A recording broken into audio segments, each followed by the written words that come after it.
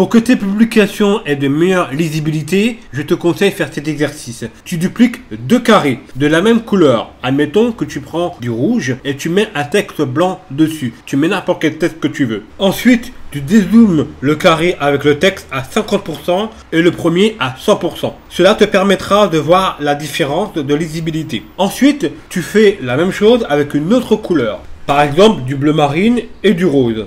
Fais ça avec n'importe quelle couleur. Il faut que tu travailles ton cerveau à l'habituer à comprendre ce qui fonctionne, ce qui fonctionne pas concernant la lisibilité. Parce que si tu fais pas cet exercice, tu vas toujours faire les mêmes erreurs et tu vas pas comprendre où est le problème. Et tu vas penser inconsciemment que ce que tu fais est correct alors que c'est incorrect. Et comme tu l'as compris, cela te permettra de voir si tu arrives à lire un texte ou pas. Et c'est comme ça que tu comprendras qu'est-ce qui est lisible et qui est illisible.